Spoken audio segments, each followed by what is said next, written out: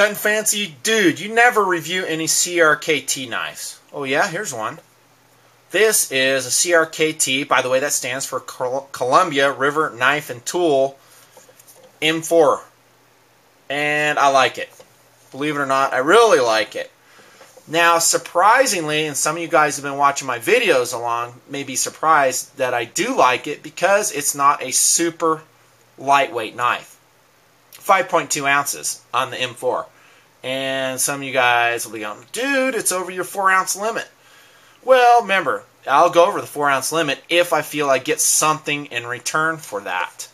Um, now, that doesn't mean that's the knife I'm going to be carrying all the time. The hardest thing about owning several different options is trying to choose. What am I going to carry today? What am I going to carry in, in this situation? It's a great problem to have, don't get me wrong. I love it. But sometimes the extra weight will be needed. Where does the extra weight come from in the M4?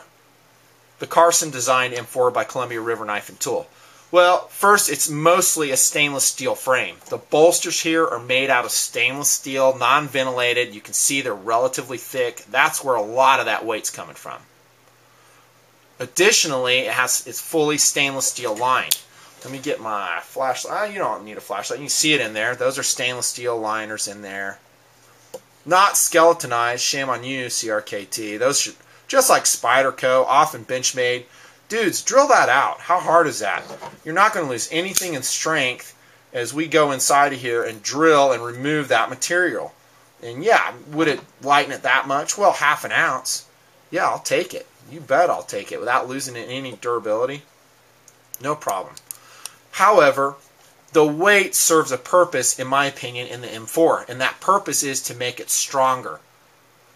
And this is indeed, in my opinion, again, that's all it is, is me giving you a data point on the M4 Carson, is this is a strong knife. It's a, in what category, what POU am I going to use on this? I'll say it's primarily a folding tactical knife.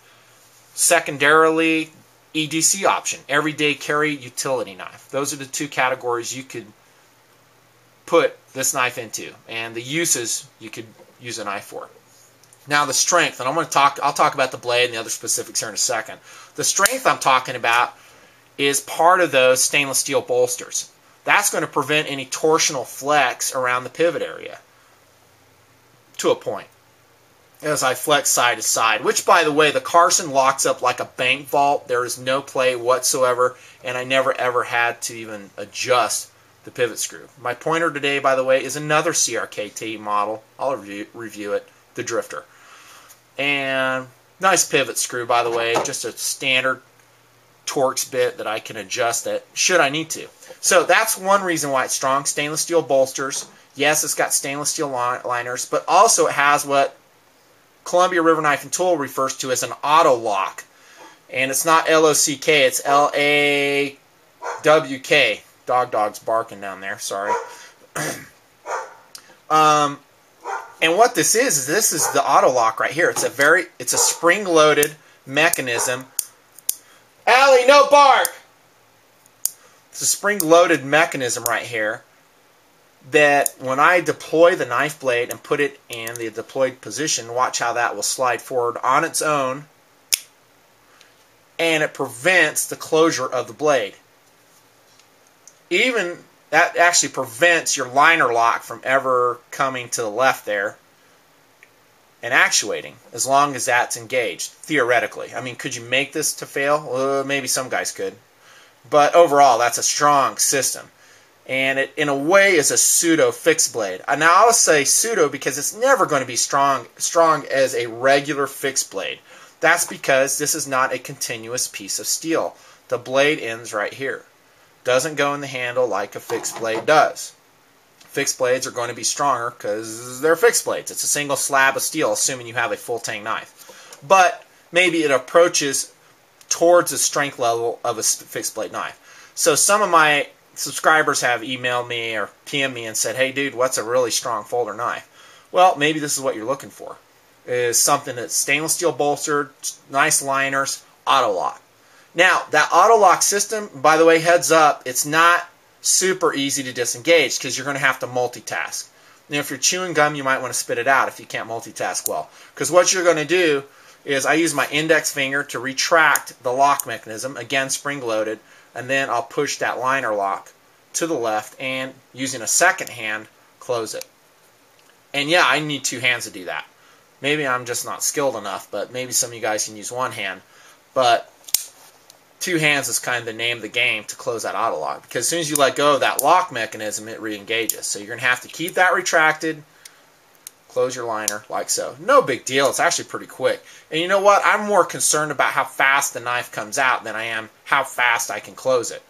Because when I have need that knife out in a tactical emergency defensive situation, those words are synonymous to me by the way. I want my blade out quick, and I'm generally going to be under stress when I need it.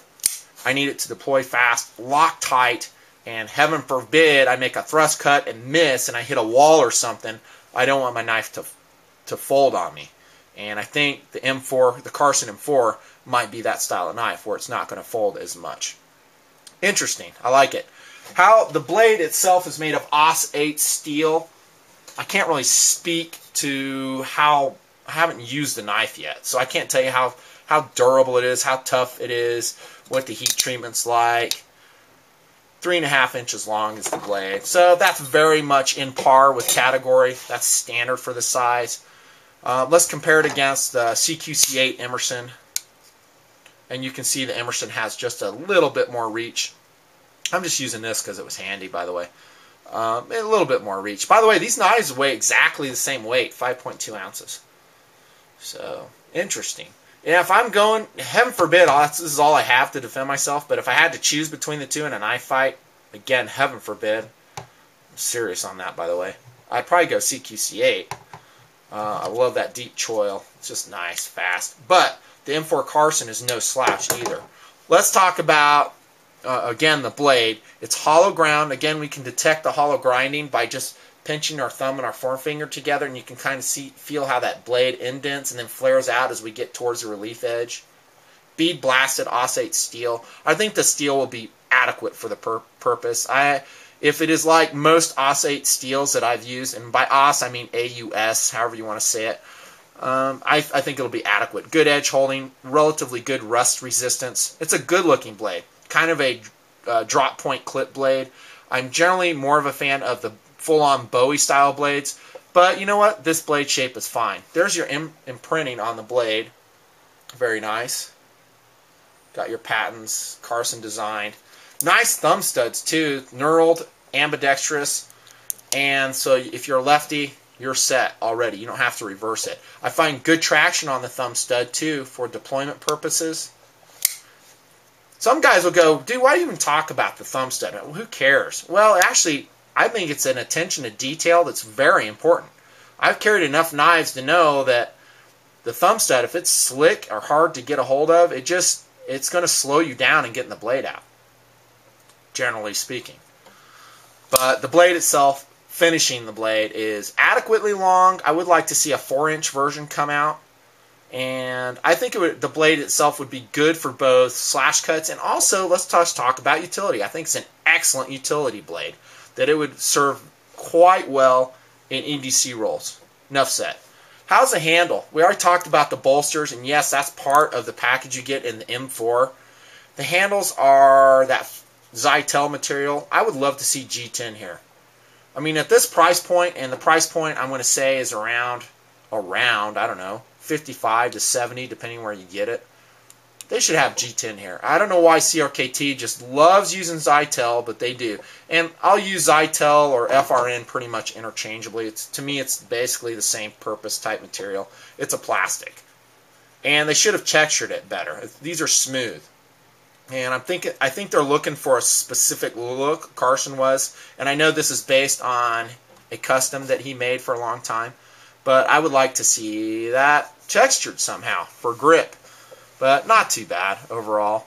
Not a flow-through design, pillar construction, in other words. We have a backspacer right here. Zytel. Not a big deal, though.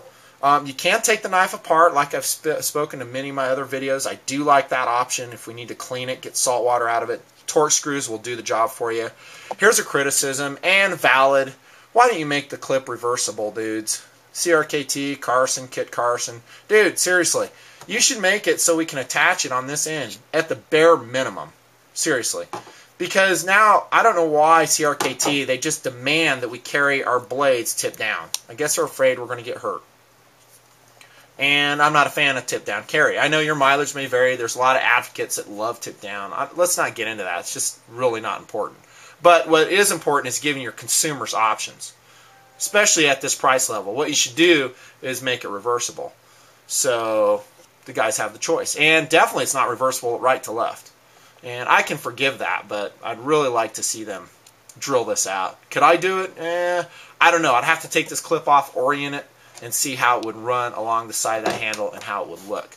Um, speaking of looks, by the way, the M4 Carson is a very good looking knife. I like the looks of it. It's handsome. It's fast. By I think I already spoke to the lockup. Very tight, no wiggle at all, and it is very fast. It's a good looking knife. Didn't speak about that. There's your there's your thumb ramp here, made out of the liners. The liners kind of protrude, and what do you know? They actually have some functional jimping on it, more or less. I think it could be just a little bit sharper, but not bad. And will it function to prevent your hand coming forward on a thrust attack? Uh, debatable. No really finger guard on the bottom at all. You know, you have a little bit of jimping right there on the liner, but that's not really functional for that purpose. So it is a little bit slick and a little bit guardless and along those lines. But take it for what it is.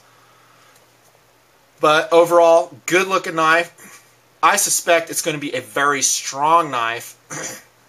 a little bit on the heavy side, but I like it. I like it for the strength, the looks, good blade shape, adequate reach, good speed, solid lockup. I think it's a great knife. The M4 Carson. If you're looking for a folding tactical, maybe EDC blade that is impressive along the lines I just mentioned, this might be your knife. Thanks for watching. Thanks for the good ratings. As usual, keep them coming. I'll keep the videos coming. Peace. Nothing fancy.